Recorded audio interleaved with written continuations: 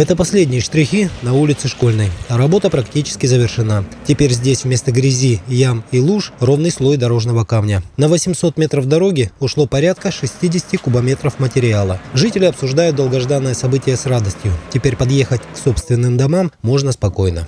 Мы обратились с просьбой Полякову Юрию Федоровичу. Он нам помог. Вот, ну, факт на лицо, видно, что это, он выделил нам материал, и мы эти ямы засыпали. Все проградировано, все было сделано очень оперативно, быстро и хорошо. Дети приходили домой грязные, мокрые.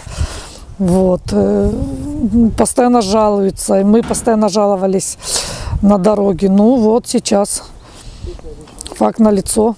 Дети, конечно, домой уже приходят совсем не такие. Еще одну дорогу отсыпали на улице Кубанская. 400 метров дорожного полотна, на которое ушло порядка 40 кубов щебня. Также разровняли и отгрейдеровали. Большую помощь оказал станичникам депутат Геннадий Демурчев. Он выделил тяжелую технику для работ.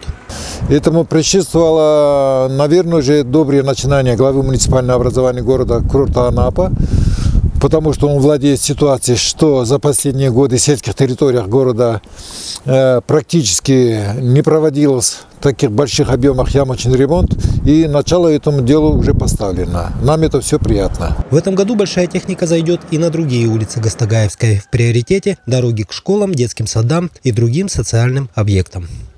Руслан Душевский, Анапа регион.